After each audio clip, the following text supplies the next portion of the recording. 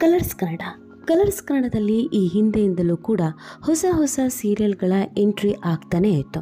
ಒಂದಲ್ಲ ಒಂದು ಹೊಸ ಹೊಸ ಪ್ರಯೋಗಗಳನ್ನು ಕೂಡ ಮಾಡಲಾಗ್ತಾ ಇತ್ತು. ಆ ಕಾರಣಕ್ಕಾಗಿಯೇ ಕಲರ್ಸ್ ಕನ್ನಡ ತುಂಬ ಜನಕ್ಕೆ ಇಷ್ಟ ಆಗ್ತಾ ಇದ್ದಿತ್ತು. ಚಾಚು ತಪ್ಪದೆ ಪ್ರತಿನಿತ್ಯವೂ, ಪ್ರತಿ ದಿನವೂ ಕೂಡ ಬರುವಂಥ ಹೊಸ ಹೊಸ ಸೀರಿಯಲ್ನಿಂದ ಹಿಡಿದು ಹಳೆಯ ಸೀರಿಯಲ್ ತನಕ ಎಲ್ಲ ಸೀರಿಯಲನ್ನು ಮಿಸ್ ಮಾಡದೆ ನೋಡ್ತಾ ಇದ್ರು. ವಿಭಿನ್ನವಾದಂಥ ಪ್ರಯೋಗ ಹೊಂದಿದ್ದಂಥ ವಿಭಿನ್ನವಾದ ಕಥಾಹಂದರ ಹೊಂದಿರುವಂಥ ಸೀರಿಯಲ್ಗಳಿಗೆ ಕಲರ್ಸ್ ಕನ್ನಡದಲ್ಲಿ ಕೊರತೆಗೇನಿಲ್ಲ ಮತ್ತು ಅದೆಷ್ಟೋ ಹೊಸ ಹೊಸ ಪ್ರತಿಭೆಗಳಿಗೆ ಅವಕಾಶ ಕೊಟ್ಟು ಮಣೆ ಹಾಕಿದ್ದು ಕೂಡ ಇದೇ ಕಲರ್ಸ್ ಕನ್ನಡ. ಆದರೆ ಕಲರ್ಸ್ ಕನ್ನಡದ ಒಂದಷ್ಟು ಸೀರಿಯಲ್ಗಳ ಬಗ್ಗೆ, ಆ ಮ್ಯಾನೇಜ್ಮೆಂಟ್ ಬಗ್ಗೆ ಸ್ವಲ್ಪ ಬೇಸರ ಕೂಡ ಇತ್ತೀಚೆಗೆ ಸ್ವಲ್ಪ ಹೆಚ್ಚಾಗ್ತಾ ಇತ್ತು. ಅದಕ್ಕೆ ಕಾರಣ ಹೊಸ ಹೊಸ ಸೀರಿಯಲ್ಗಳು, ಕತೆ ತುಂಬ ಚೆನ್ನಾಗಿದ್ರೂ ಕೂಡ ಹೇಳದೆ ಕೇಳದೆ ವೈಂಡ್ ಅಪ್ ಆಗ್ತಾ ಇತ್ತು. ಇನ್ನೇನು ಕತೆ ಚೆನ್ನಾಗಿ ಸಾಗ್ತಾ ಇದೆ ಅಥವಾ ಇನ್ನೇನು ಕತೆ ಶುರುವಾಗಿದೆ ಅನ್ನುವಷ್ಟರಲ್ಲಿಗೆ ಕತೆ ವೈಂಡ್ ಅಪ್ ಮಾಡಿ ಹೊಸ ಸೀರಿಯಲ್ ಎಂಟ್ರಿ ಆಗ್ತಾ ಇತ್ತು. ಅಯ್ಯೋ, ಆ ಸೀರಿಯಲ್ ಮುಗ್ದೋಗ್ಬಿಡ್ತಾ ಇಷ್ಟು ಬೇಗ ಮುಗಿಸಿದ್ರಾ ಅಂತ ಪ್ರಶ್ನೆ ಮಾಡಿದ್ದು ಇದೆ. ಇನ್ನು ಕೆಲವು ವರ್ಷಾನುಗಟ್ಟಲೆ ಪ್ರಸಾರ ಆಗಿದ್ದು ಕೂಡ ಇದೆ. ಅಯ್ಯೋ, ಈ ಸೀರಿಯಲ್ ಮುಗಿಯೋದೇ ಇಲ್ವಾ? ಯಾವಾಗ ಮುಗಿಯುತ್ತೆ? ಎಷ್ಟು ವರ್ಷದಿಂದ ಓಡ್ತಾ ಇದೆ ಅಂತ ಹೇಳಿರೋ ಸೀರಿಯಲ್ಗಳು ಇದೆ.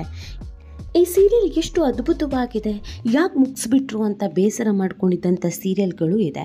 ಅದೇ ರೀತಿಯಾಗಿ ಕಲರ್ಸ್ ಕನ್ನಡ ಇದೀಗ ಇನ್ನೊಂದು ರೀತಿಯಾದಂಥ ಸಮಸ್ಯೆಗೆ ಒಳಗಾಗಿದೆ. ಬೃಂದಾವನ ಅನ್ನುವಂಥ ಒಂದು ಹೊಸ ಸೀರಿಯಲ್ ಪ್ರಾರಂಭ ಆಗಿತ್ತು ಬೃಂದಾವನ ಅನ್ನುವಂಥ ಒಂದು ಹೊಸ ಸೀರಿಯಲ್ ಪ್ರಾರಂಭ ಆಗ್ತಾ ಇದೆ ಅಂತ ಅನೌನ್ಸ್ಮೆಂಟ್ ಮಾಡಿದಾಗಲೇ ತುಂಬ ಜನ ಖುಷಿಯಾಗಿದ್ದರು ಇನ್ನು ತುಂಬ ಜನಕ್ಕೆ ಕುತೂಹಲ ಹೆಚ್ಚಾಗಿತ್ತು. ಬೃಂದಾವನ ಹೆಸರೇ ಹೇಳೋ ಹಾಗೇ ದೊಡ್ಡ ಸೀರಿಯಲ್. ಒಂದು ಸೀರಿಯಲಲ್ಲಿ ಅಬ್ಬಬ್ಬ ಅಂತ ಅಂದರೆ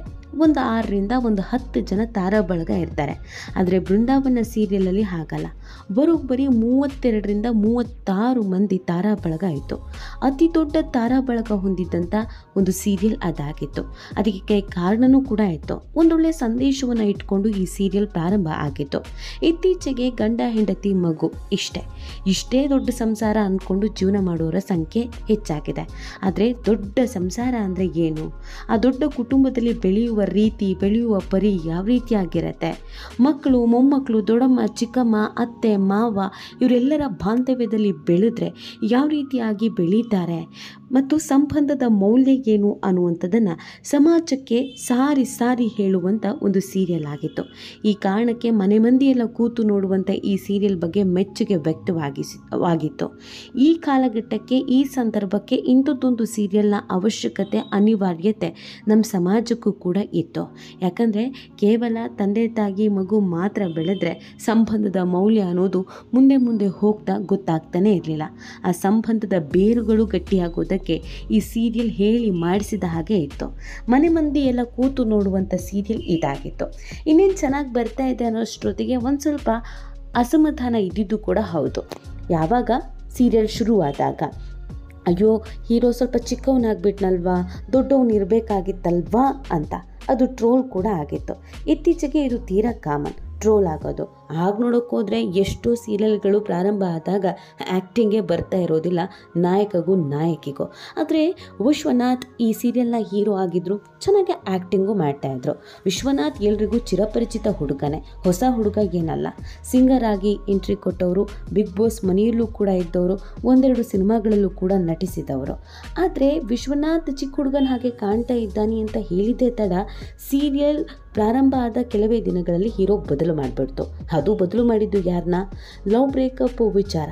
ಲವ್ ಮೋಸದಲ್ಲಿ ದೋಖ ಮಾಡಿದ ವರುಣನ್ನ. ಹೌದು, ವರುಣ್ ಟಿಕ್ ಟಾಕ್ ಸ್ಟಾರ್. ವಿಶ್ವನಾಥ್ಗಿಂತ ಅದ್ಭುತವಾಗೇನು ಆ್ಯಕ್ಟಿಂಗ್ ಮಾಡಲ್ಲ. ಆದರೂ ಕೂಡ ಈತನಿಗೆ ಅವಕಾಶ ಸಿಕ್ಕಿತು. ಈತನಿಗೆ ಅವಕಾಶ ಸಿಕ್ಕಿದ್ದು ಹೇಗೆ? ಇದೇ ಆಶ್ಚರ್ಯಕರವಾದಂಥ ಸಂಗತಿ. ವರ್ಷ ವರುಣ್ ಕೆಲವು ವರ್ಷಗಳ ಹಿಂದೆ ಟಿಕ್ ಟಾಕು ರೀಲ್ಸು ಅಂತ ಫೇಮಸ್ ಆದವರು. ಅದಾದಮೇಲೆ ತಮ್ಮ ಪರ್ಸ್ನಲ್ ವಿಚಾರಕ್ಕೆ ಹೆಚ್ಚು ಸದ್ದು ಮಾಡಿದವರು. ವಿಶ್ವನಾಥ್ ಚಿಕ್ಕವನ ಥರ ಕಾಣ್ತಾನೆ ಅಂತ ಈ ವರುಣನ್ನು ಆಯ್ಕೆ ಮಾಡಿ ಹಾಕಿದ್ದಾರೆ. ತುಂಬ ಜನಕ್ಕೆ ಇದು ಬೇಸರ ಆಗಿರೋ ವಿಚಾರ. ಅವರ ವೈಯಕ್ತಿಕ ವಿಚಾರ ಏನೇ ಇರಲಿ, ವರುಣ್ ಕೂಡ ದೊಡ್ಡ ಹುಡುಗನ ಥರ ಕಾಣಿಸೋದಿಲ್ಲ. ವರುಣ್ ಕೂಡ ಚೈಲ್ಡ್. ಹಾಗೆ ನೋಡಿದ್ರೆ ವಿಶ್ವನಾಥ್ ಚೈಲ್ಡ್ ವರುಣ್ ಚೈಲ್ಡ್ ಚಪಾತಿ ಅಂತ ಕೆಲವರು ಕಮೆಂಟ್ ಮಾಡ್ತಾ ಇದ್ದಾರೆ. ಈ ವರುಣನ್ನು ಆಯ್ಕೆ ಮಾಡುವಂಥ ಅವಶ್ಯಕತೆ ಯಾಕಿತ್ತೋ ಗೊತ್ತಿಲ್ಲ. ಆದರೆ ಸಡನ್ನಾಗಿ ವರುಣನ್ನು ಆಯ್ಕೆ ಮಾಡಿ ಆಗಿದೆ. ಸೀರಿಯಲ್ ಇದೀಗ ಪ್ರಸಾರ ಆಗ್ತಾ ಇದೆ. ಇದಕ್ಕೆ ವಿಶ್ವನಾಥ್ ಅಸಮಾಧಾನವನ್ನು ವ್ಯಕ್ತಪಡಿಸಿದ್ದಾರೆ. ಮೊದಲೇ ನನ್ನನ್ನು ಆಯ್ಕೆ ಮಾಡಿದ್ದು ತಪ್ಪು. ನಾನಾಗೆ ಹೋಗಿ ಅಪ್ರೋಚ್ ಮಾಡಿದ್ದು ಅಲ್ಲ. ಅವರಾಗೆ ಬಂದು ಅಪ್ರೋಚ್ ಮಾಡಿದ್ದು. ಅದಾದಮೇಲೆ ನನ್ನ ಪಾತ್ರ ಬದಲು ಮಾಡಬೇಕು ಅನ್ನೋದು ಸಡನ್ ಸಡನ್ನಾಗಿ ಆದಂಥ ನಿರ್ಧಾರ. ನನ್ನ ಜಾಗಕ್ಕೆ ವರುಣ್ ಅನ್ನೋರನ್ನು ತಂದು ಕೂರಿಸಿದ್ದಾರೆ. ಅದು ವರುಣ್ಗೆ ಖುಷಿಯಾಗಿದೆ. ಅಂದರೆ ವಿಶ್ವನಾಥ್ ಮತ್ತು ಅವರ ಫ್ಯಾಮಿಲಿ ಮತ್ತು ಅವರ ಅಭಿಮಾನಿಗಳಿಗೆ ಬೇಸರ ಆಗಿದೆ ಈ ರೀತಿಯಾಗಿ ಅವಕಾಶ ಕೊಟ್ಟಿದ್ದ್ಯಾಕೆ? ಅವಕಾಶ ಕೊಟ್ಟು ಪ್ರತಿಭೆ ಚಿಗುರ್ತಿದ್ದಾಗಲೇ ಚೂಟಿ ಹಾಕಿದ್ದು ಯಾಕೆ? ಯಾರೋ ಎಲ್ಲೋ ಇದ್ದಂಥ ಸುಮ್ಮನೆ ಇದ್ದಂಥ ಹುಡುಗನಿಗೆ ಅವಕಾಶ ಕೊಟ್ಟು ಅದಾದ ನಂತರ ಅವಕಾಶ ಕಿತ್ಕೊಂಡಾಗಿದೆ. ಕಲರ್ಸ್ ಕನ್ನಡ ಯಾವತ್ತೂ ಕೂಡ ಈ ರೀತಿ ನಿರ್ಧಾರವನ್ನು ಕೈಗೊಂಡಿದ್ದೇ ಅಲ್ಲ. ಎಲ್ಲವರನ್ನು ಬೆಳೆಸುವಂತಹ ಕೆಲಸಕ್ಕೆ ಕೈ ಹಾಕಿದ್ದು ಎಷ್ಟೋ ಪ್ರತಿಭೆಗಳನ್ನು ಕೊಡುಗೆಯಾಗಿ ಕೊಟ್ಟಿದ್ದು ಇದೇ ಕಲರ್ಸ್ ಕನ್ನಡ.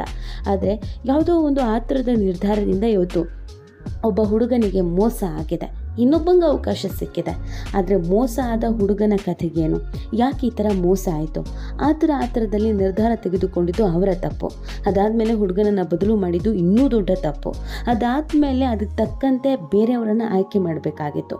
ಇನ್ನೂ ಚಿಕ್ಕವನ ಥರ ಕಾಣೋನ್ನ ಆಯ್ಕೆ ಮಾಡಿದ್ದು ಅದಕ್ಕಿಂತ ದೊಡ್ಡ ತಪ್ಪು ಅಂತ ಜನ ಇದೀಗ ಟ್ರೋಲ್ ಮಾಡ್ತಾ ಇದ್ದಾರೆ, ಮಾತನಾಡ್ತಾ ಇದ್ದಾರೆ. ಹಾಗಿದ್ರೆ ಇವನನ್ನು ಕೂಡ ನಾವು ಟ್ರೋಲ್ ಮಾಡ್ತೀವಿ. ಇವನನ್ನು ಕೂಡ ಚೇಂಜ್ ಮಾಡಿಬಿಡ್ತೀರಾ? ಚೇಂಜ್ ಮಾಡಿಬಿಡಿ ಅಂತ ಅಸಮಾಧಾನವನ್ನು ಆಕ್ರೋಶವನ್ನು ಕೆಲವರು ಹೊರಹಾಕ್ತಾ ಇದ್ದಾರೆ. ಆದರೆ ಸೀರಿಯಲ್ ಶುರುವಾದ ಕೆಲವೇ ದಿನಗಳಲ್ಲಿ ಈ ಥರದ್ದು ಬದಲಾವಣೆ ಆಗಿದ್ದು ಮಾತ್ರ ನಿಜವಾಗ್ಲೂ ಬೇಸರದ ಸಂಗತಿ. ಈ ಬಗ್ಗೆ ನಿಮ್ಗೆ ಏನನ್ಸುತ್ತೆ ಅನ್ನೋದನ್ನು ನೀವು ಕೂಡ ಕಮೆಂಟ್ ಮಾಡಿ.